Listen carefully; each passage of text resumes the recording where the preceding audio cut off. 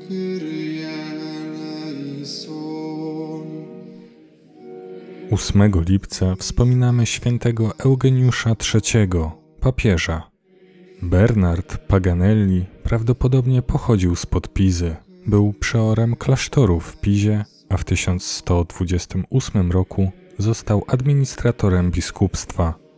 W roku 1134, w czasie zwołanego do Pizy synodu, zetknął się zapewne ze świętym Bernardem. Porzucił wtedy swe dobra i został mnichem w Clairvaux. Spełniał tam bardzo niskie posługi, ale święty Bernard wysłał go wkrótce na czele gromady mnichów do Italii dla objęcia ofiarowanych tam opactw. Początkowo Bernard kierował klasztorem pod Farfą, potem z woli Inocentego II przeniósł się do opactwa świętego Anastazego przy źródłach salijskich pod Rzymem. Wieczne miasto było wówczas pełne niepokojów i zamieszek. Po śmierci Lucjusza II kardynałowie zebrani w pośpiechu wybrali jego następcą Bernarda, chociaż nie należał on do świętego kolegium i nie był biskupem. Nowo obrany papież przyjął imię Eugeniusza III. Został pierwszym cystersem na tronie papieskim.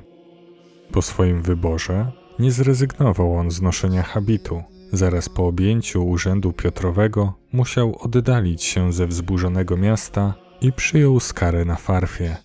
Pośród zmiennych kolei próbował uspokoić Rzym, w czym wspierali go kardynałowie oraz ludność kampanii. Już jednak w roku następnym musiał znowu opuścić miasto. Tymczasem do Eugeniusza doszły złe wieści z Ziemi Świętej. Papież zabrał się więc do zorganizowania wyprawy krzyżowej. W istotny sposób pomagał mu w tym jego duchowy mistrz, święty Bernard. W roku 1147 papież odwiedził Lyon, Cluny, Dijon, gdzie witał go uroczyście Ludwik VII. Następnie przebywał w Paryżu, a 10 czerwca 1148 roku wręczył królowi proporzec krzyżowców. Następnie poprzez Auxerre, Citeaux i Verdun pojechał do Treviru, nadal w towarzystwie świętego Bernarda. Uczestniczył następnie w synodzie w Reims, udał się jeszcze raz do Clairvaux, aż wreszcie powrócił do Italii, ale do wzburzonego Rzymu nie dotarł. Zatrzymał się w Viterbo. Tymczasem ogłoszona przez papieża krucjata okazała się fiaskiem. Król francuski i święty Bernard podjęli więc przygotowania do następnej. Nie było to pomyśli Eugeniusza, ale w końcu projekt zatwierdził. Jednak na projekcie wszystko się skończyło. Nie lepiej miały się też sprawy w Italii. Nie mogąc osiąść w Rzymie, papież przebywał w Albano, Segni i Ferentino. Dopiero pod koniec 1152 roku, wezwany przez lud samego Rzymu, wrócił do swego pałacu na Lateranie. Reszta dni upłynęła mu we względnym spokoju.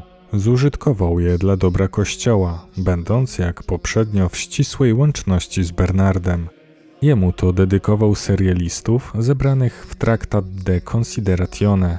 Jemu też nie szczędził rad i uwag, które nie zawsze były dyskretne, ale też nie zawsze znajdowały spodziewany posłuch. Korzystając z nich, papież zachował wyraźnie niezależność sądu i poczynań.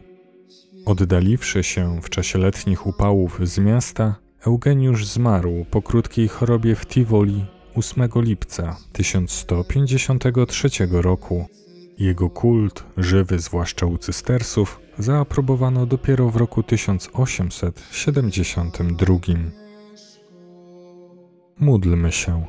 Wszechmogący Boże, święty Eugeniusz, którego ustanowiłeś pasterzem całego Kościoła, dzięki Twojej łasce zajaśniał blaskiem cnót i wiedzy.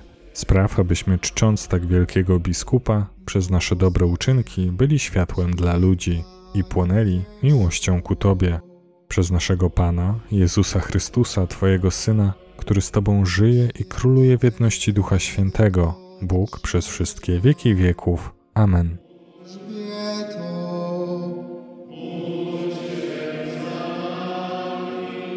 Wszyscy święci, święte Boże.